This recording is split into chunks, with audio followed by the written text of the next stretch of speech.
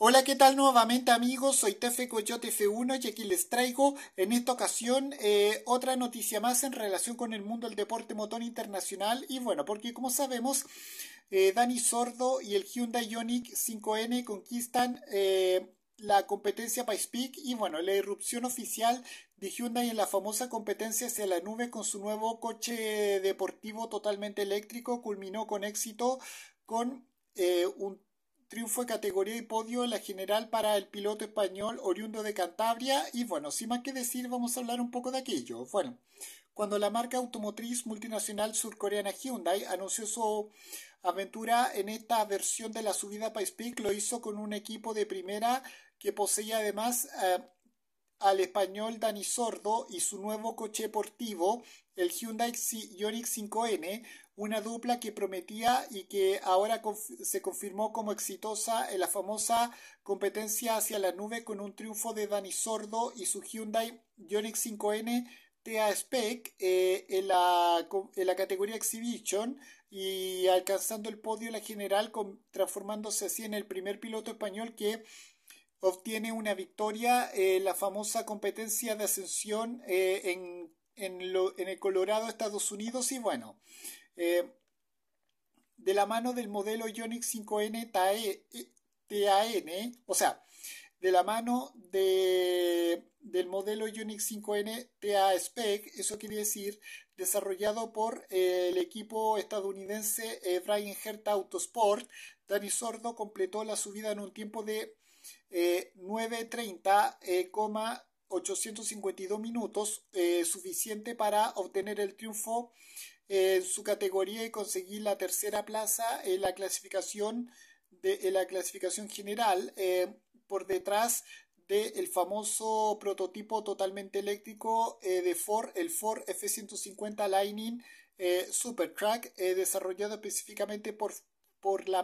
por la filial Ford Performance para esta subida de Pice Peak con el ya experto piloto Roman Dumas y bueno, eh, el resultado de Dani Sordo y el nuevo Hyundai Ioniq 5N, sin embargo, deja un gran sabor de boca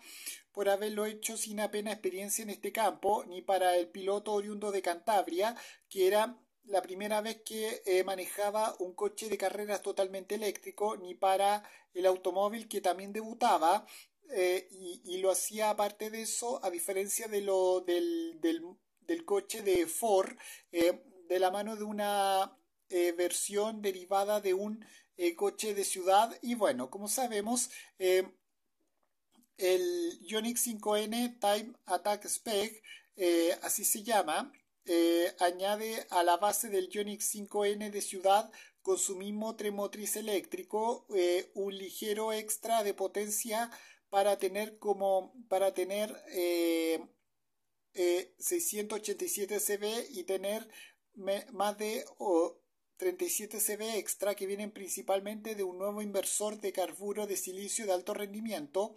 y una modificación exhaustiva del software de gestión de los motores, de los propulsores y por supuesto un apartado aerodinámico mucho más elaborado según los estándares de Pice Peak, es decir, un generoso spoiler o alerón, como quieran decirlo, frontal, un alerón o spoiler, como quieran decirle, posterior de dimensiones colosales y otras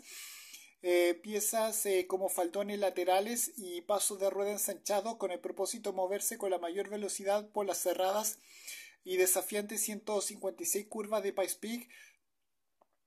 en sus 19,99 kilómetros y hasta los y hasta los 1440 eh,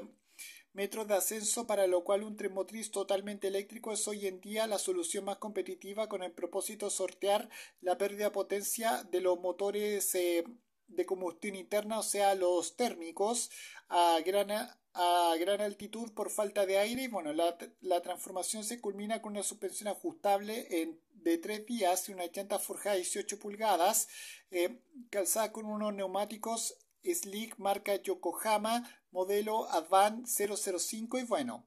desde, desde las primeras eh, eh, desde los primeros días de prueba, Dani Sordo demostró ser el piloto más rápido de todo, de todo el, equipo Hyundai, como se supo eh, desde hace un mes iba a ir con, un, con buen tiempo, incluyendo el también veterano eh, Peak Randy eh,